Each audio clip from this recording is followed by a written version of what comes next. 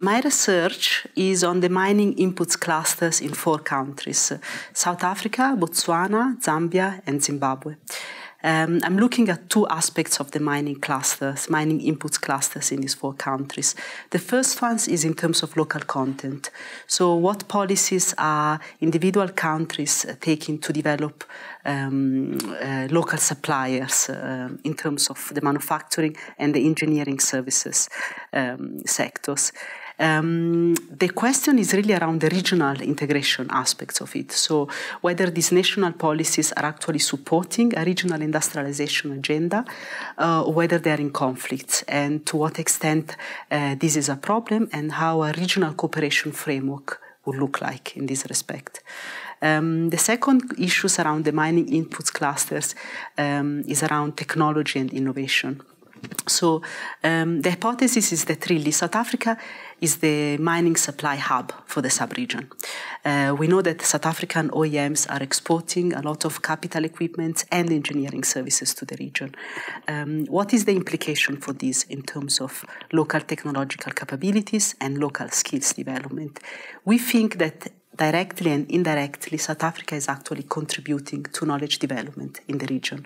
It's doing so directly, um, for example, with the OEMs working with the subsidiaries or with other firms and the mining houses in the region and it's doing so indirectly. For example, with a significant number of um, Zimbabwean, Botswanas, and um, Zambian students studying engineering and scientific related uh, courses in, uh, in South Africa. So there are a number of critical questions. For example, whether the skilled labor then goes back and works in the region or whether they stay here. And if they stay here, how do they contribute to technological development in the region, in the mining? I'm specifically focusing on the mining cluster.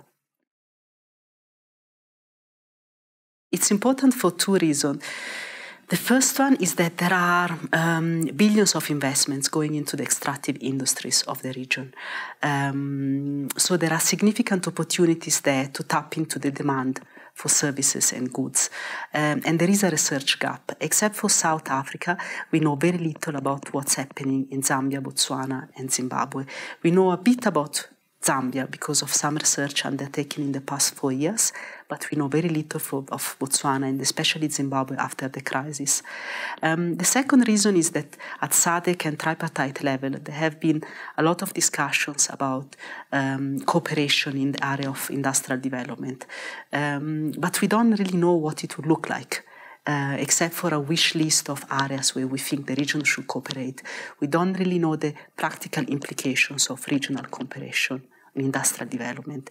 And we think that the regional mining value chain offer concrete opportunities to see how do the firm and governments can cooperate, what should they prioritize and what they should be doing. I think it's an opportunity. I think it's a massive opportunity. Um, I think of a lot of research um, that has taken some distance from the resource curse uh, thesis has actually shown the importance of institutions and human capital. Um, the real, the critical question is how do you extract your resources and what do you do with it? It's not so much whether you should do it in the first place.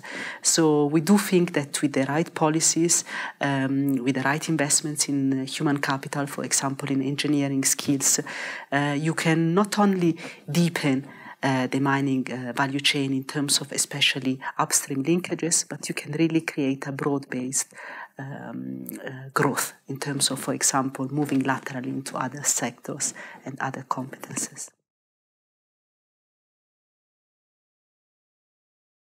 I'm hoping to learn that um, the regional mining value chains has a lot of unexplored impact on the regional on regional growth. I hope to find out that South Africa is contributing meaningfully to developments in the region, and I hope we have a lesson for policymakers in terms of how policy can support uh, these processes.